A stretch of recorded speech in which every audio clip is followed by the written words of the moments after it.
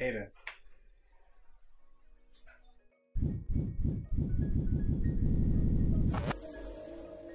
I guess I should start this off by introducing myself, right?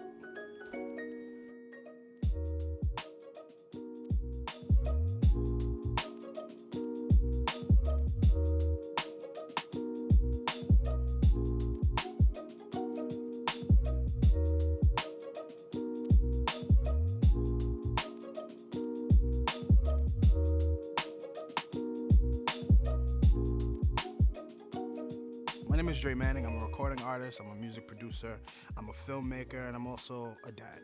All of those things are, are amazing things to be.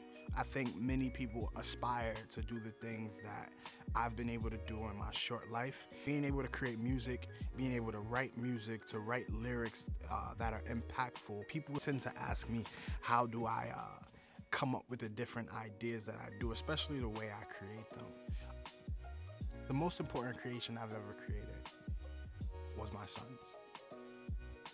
Um, I was born February 27th, 1987, to an African American woman by the name of Adrienne Manning, my mom. A strong mother and a mother who worked her ass off to provide for me and my siblings. Um, my only interaction I can remember of with my father was when I was five years old. Um, he told me to my face that he's not my father, and he wished me the best of luck in my my uh, journey in finding out who my father truly is. That's the only interaction I've ever had with my dad. I, I, I looked at parenthood and I looked at fatherhood in a different light.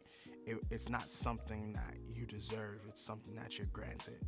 And you should be lucky and appreciative of having that opportunity to become a father. So, fast forward 20 years later from being that five year old standing in my mom's living room, I become a father. My first son is born, Albert Malik Solano Manning.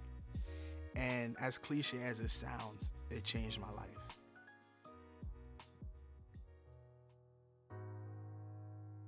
I started making smarter decisions. It made me start evaluating people around me and truly understanding what my value to society and my value to my child and to myself is.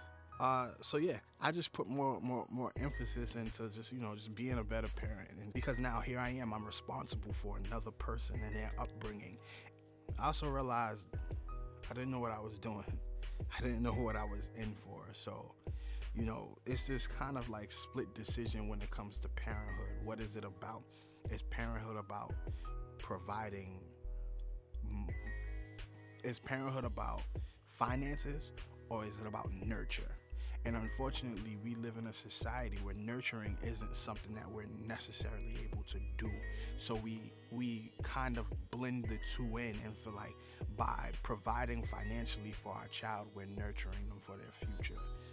I, on the other hand, didn't feel comfortable raising my son, my son with that notion that gifts and little trinkets were my way of saying, hey, I care.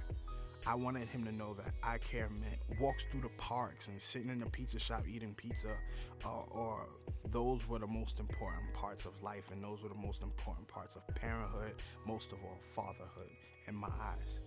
I would take jobs that allowed me to get by so that I could spend more time with my son. So if I felt like my job took up too much of my time from me being able to spend time with my son, I'd leave the job. So far it's worked for me. You know, my son gets excited since since he could walk, he'd get excited when he see me come in the house. And to this day, he still gets excited when he sees me. He runs to me. He's gonna be six years old this year. He runs to me. He jumps on me. You know, this was this was a kid who was in my ball sack not too long ago. And now, you know, he's a human being who has ideas and has wants and has needs and he still gets excited every moment that he sees me. And it's because he doesn't look at me as a bankroll and more so looks at me as a support. He comes into my house and he walks up to me and goes daddy i just want to hug you. And that's something incredibly